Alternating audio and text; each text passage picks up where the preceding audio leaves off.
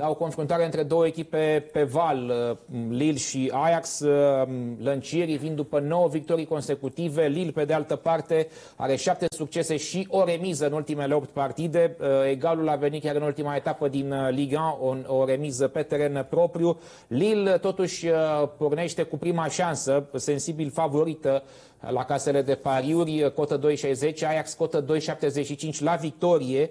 Um, Lille are doar un gol primit în ultimele 8 meciuri, să spunem acest lucru. Um, o să vedem și alte cote, X2, cotă 1,50, Ajax să nu piardă uh, pe terenul um, grupării din nordul Franței. Pentru varianta nu marchează ambele echipe cotă 2 și 14 și sub 2,5 goluri, cotă 1,93. Uh, iar pontul redacției noastre este și aici un pariu combinat 1x și sub 5,5 goluri, cotă 1,50. Oh, oh, oh, ce linie generoasă la goluri. Nu cred că vom vedea mai mult de 5 goluri, sunt slabe șansele.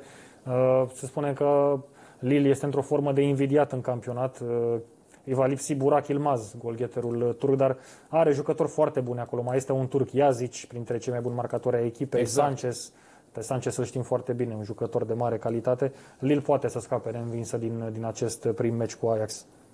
Bun, haideți să mergem mai departe și să vedem cum arată biletul zilei Sporting Bet.